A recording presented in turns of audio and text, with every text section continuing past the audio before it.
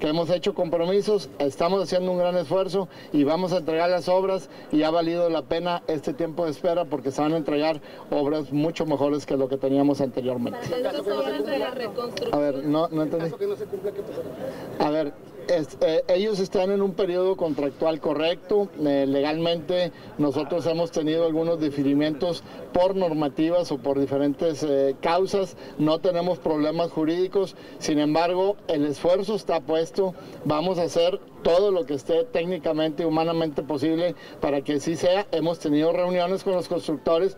Quiero aclarar, no es que el constructor esté quedando mal en sus tiempos. Ellos han hecho su mejor esfuerzo y han estado construyendo lo que le hemos ido liberando de proyectos y lo van a hacer, estamos seguros. Son compañías eh, muy serias, compañías que van a entregar estas obras sin problemas. De la reconstrucción, ese 3%, ¿cuándo concluye ya? Mire, nosotros tenemos eh, en nuestra planeación para el día primero de julio estar eh, terminando, estar concluyendo.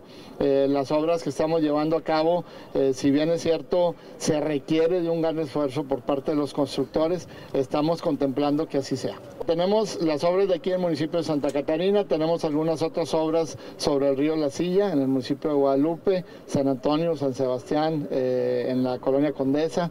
Tenemos algunas otras obras en el municipio de Santiago, también de la misma manera que estamos ya prácticamente en la recta final.